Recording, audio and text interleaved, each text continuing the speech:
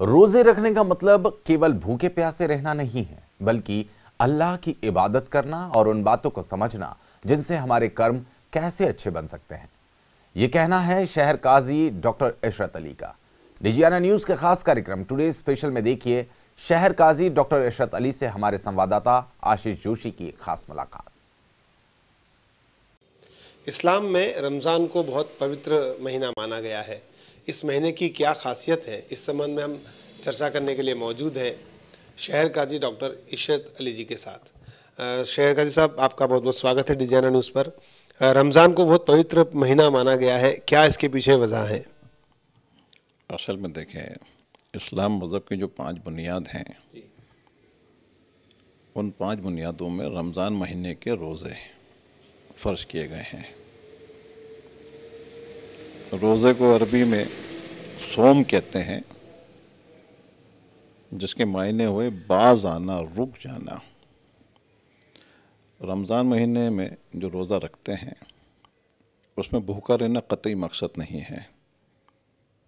और ना ही भूखा रहा जाता है। एक सुबह मुकर वक्त से लेकर शाम को मुकर वक्त तक खाना तो दूर पानी के कतरा का भी इस्तेमाल नहीं कर सकता।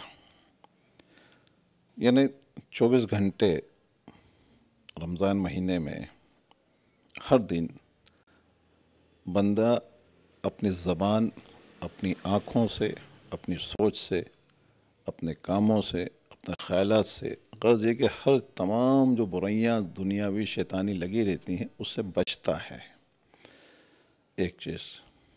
दूसरी, इस रमज़ान महीने में चूँकि अभी अपने यहाँ पे देखें तो पंद्रह घंटे से ज़्यादा का वक्त का रोज़ा है। गर्मी का मौसम है। तो पंद्रह घंटे तक पानी के कतरे का इस्तेमाल नहीं करना, उसको ये एहसास भी है कि प्यासे की क्या हल होता होगा। पंद्रह घंटे तक कुछ खाना नहीं खाना, उसको ये एहसास कि एक भूखा आदमी की भूख कैसी होगी। तो अपन, हम अपनी दुनियावी ज़बान में बोल सकते हैं कि ये एक तरह की ट्रेनिंग है, जिस तरह से हमने अपनी ज़िंदगी रमज़ान महीने में गुजारी, दुनिया की और शैतानी तमाम बुराइयों से बच कर अल्लाह की रज़ा के लिए, बाकी के ग्यारह महीने भी हमें उसी तरह से ज़िंदगी गुजारना चाहिए। तब जाकर हम मकम्मल तौर से मुसलमान, अच्छे इंसान बन सकते हैं।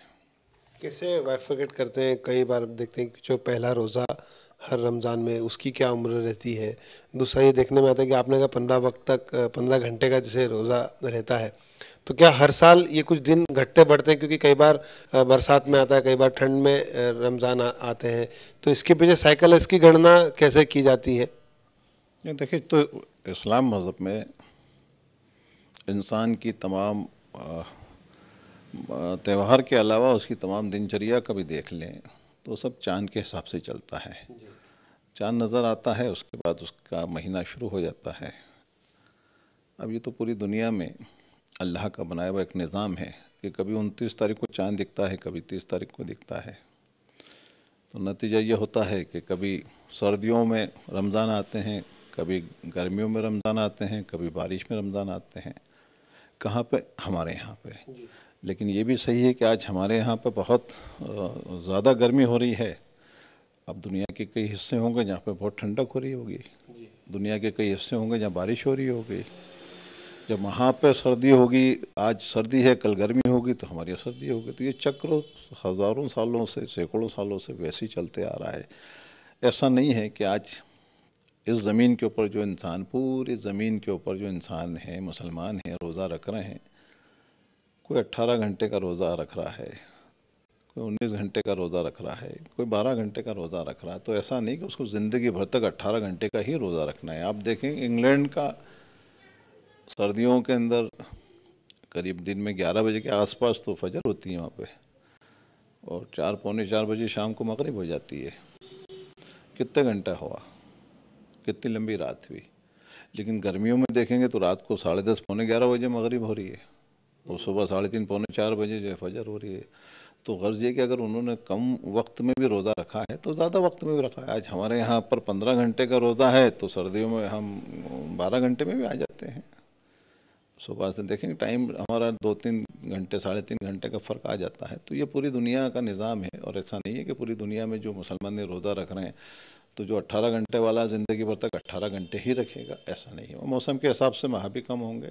एक सबको सबाब का बड़ा वो रहता है कि दुआओं में भी याद रखना सबाब भी हमको कमाना, हमारे पुण्यों का हिसाब भी करना है, पाप का भी हिसाब करना है। तो ये जो पूरी सिस्टम रमज़ान में आमतौर पर फॉलो की जाती है तो इसमें कौन कौन से ऐसी तिथियाँ आती हैं, ऐसा कौन सा तारीखें आती हैं, जो विशेष मानी जाती हैं? कभी किसी से कुछ भूल हो जाए, अगर कोई नमाज़ नहीं पढ़ पाता, फिर उसको कज़ा पढ़ना पड़ती है। तो ऐसा क्या इसके पीछे क्या लॉजिक है और ऐसे कौन कौन सी तारीखें रहती जो खास तौर पर हर जो मोमिन है वो उसको फॉलो करता है? ये भी सत्ताईसवीं शब गई तो उस दिन काफ़ी एक रौनक देखने को मिली। देखिए पाँच ताके पाँच ताक रातें होती हैं जिसमें रात भर इबादत करते हैं। ठीक है? लेकिन चूँकि रमज़ान महीने का हर पल बहुत कीमती है सुबह से शाम तक रोज़े के वक्त और शाम से लेकर सुबह तक जब हमारा रोज़ा नहीं है, तब भी। ऐसा नहीं कि हमने इफ्तार कर लिया तो हम दुनिया की बुराइयों में लग गए। नहीं, चौबीस घंटे का मसला है। पूरे रमज़ान महीने के अंदर हम अपनी ज़िंदगी को अल्लाह अल्लाह में गुजारते हैं और पूरी दुनिया में गुजारते रहे हैं। क्योंकि दुनिया का हर मुसलमान जानता है, बड़ा रहमत वाला और नसीब वालों को ये महीना मिला है। ज़रूरी नहीं है कि जो इस साल रमज़ान महीने में ज़िंदा हैं आते साल रमज़ान महीने में ज़िंदा रहेंगे नहीं रहेंगे। तो पूरी दुनिया में मुसलमानों की कोशिश रहती है कि वक्त का जितने से ज़्यादा फ़ायदा उठा लें अल्लाह की रज़ा के लिए वो करते हैं। ज़क़़त देते हैं जो भी इस्लाम का एक, एक बुनियादों में बुनियाद में से है। देखें चारों तरफ़ देते हैं सदक़ात देते हैं खैरात देते हैं। बस अल्लाह की रज़ा में लगी रहती है पूरी ज़िंदगी चौबीस घंटे। कितने अशरे रहते हैं? ये भी बड़ा रहता है कि चार अशरे रहते हैं। रमज़ान में तीन अशरे हैं। पहला तो रहमत का है, दूसरा मगफरत का है, तीसरा जहन्नम की आग से आज़ादी का। तो पहले से दस तक, दस से बीस तक बीस से तीस तक ऐसे। अक्सर एक चीज़ ये देखने में आती है चाँद दिखने वाली बात और ख़ासतौर पर इंदौर में पिछले दो तीन बार से एक ऐसा कई बार माहौल बना कि कुछ लोग कहते हैं कि चाँद दिख गया कल ईद मनाई जाएगी। तो ईद के मायने क्या है और ये चाँद का क्यों इतना एक रिस्क माना जाता है कि चाँद देख लिया गया है या नहीं आया है? इसको लेकर हमेशा एक सवाल उठते आए हैं। देखिए चाँद तो दुनिया में रहता है। अभी भी आप ऊपर जाके देखोगे तो आपको चाँद दिख ही जाएगा। चाँद तो चौबीस घंटे कोई वो तो ऐसी चीज़ तो है नहीं कि वो वो आता है और कुछ देर से लटकता है और फिर गायब हो जाता है। चाँद तो रहता ही है। अल्लाह के रसूल के हुक्म के मुताबिक अपनी निगाहों से देखना। आपने नहीं देखा है तो शहादतें हों, शरी शहादतें हों, जो इस बात की तस्दीक करें कि हाँ हमने देखा है। दुनिया के कई हिस्से ऐसे हैं जैसे हमारे यहाँ पे और अरब कंट्रियों में जाके देख लें तो वहाँ पर हमेशा एक दो दिन पहले ही चाँद नज़र आ जाता है क्योंकि वो ज़मीन के इस इलाके में बैठे हुए हैं। हम ज़मीन के इस इलाके में बैठे हैं। अब अमेरिका जाएँगे तो वो उस इलाके में बैठा उसको और बारह घंटे बाद दिखना है। ठीक है? तो गर्ज ये है कि चाँद तारीख़ों पे तो डिपेंड होता नहीं है कि तारीख़ से तारीख़ तक तय हो गई कि साहब को मान लें, चाँद से ही पूरी दुनिया में मुसलमानों का निज़ाम चलता है। चाँद नज़र आना, नहीं नज़र आया है तो शरी शहादतें होना, ये उसकी कंडीशन है। कई लोग हो सकते हैं जो बिना चाँद देखे भी चाँद मनाने की सोचते होंगे, पर शरीयन जायश नहीं है। एक बार जैसे तीस रोज़े, एक महीना अगर तीस की कैलकुलेशन की जाती है, तीस रोज़े अगर पूरे हो जाते हैं तो फिर शायद चाँद दिखे या ना दिखे, उससे फ़र्क नहीं पड़ता ऐसा कई बार चर्चाओं में ये चीज़ सामने आती है। हमेशा उनतीस या तीसवें दिन ही इस तरह का एक माहौल बनता है। साथ ही ये देखने में आता है कि जो इस्लाम को मानने वाले बोहरा समाज के लोग हैं उन लोग का फिक्स रहता है कि कब पहले से एक कैलेंडर मुकर रहता है। तो ये डिफ्रेंशिएट क्या है जब एक ही आप धर्म को मान रहे हैं एक ही चीज़ को फॉलो कर रहे हैं? देखिए बहरों का जो कैलेंडर है वो मिस्री कैलेंडर से चलता है। और उस मुस्लिम मिस्री कैलेंडर के मुताबिक वो अपने तमाम मज़हबी तो तरीके हैं उसको चलाते हैं चाँद के। रात सवाल उनतीस सौ तीस का तो कोई अट्ठाईस दिन में तो चाँद दिखता नहीं है। ना ही इकतीस दिन में चाँद दिखता है। महीने की कभी उनतीस तारीख को देखेगा या तीस तारीख को देखेगा? तो तीस को देखे नहीं देखे अंडरस्टैंड है वो तो तीसरा चाँद। लेकिन सबसे बड़ा इम्पोर्टेंट उनतीस चाँद का रहता है।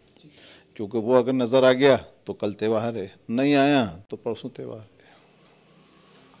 क्या संदेश देना चाहेंगे हमारे दर्शकों को इस पवित्र माह के दौरान? आप शहर काजी भी हैं मध्य प्रदेश में एक बड़ा नाम है आपका मध्य प्रदेश की जो कमेटी है का, काजी कमेटी उसके भी आप आप मुखिया हैं सरपरस्त सर तो क्या संदेश आपकी तरफ़ से रहेगा?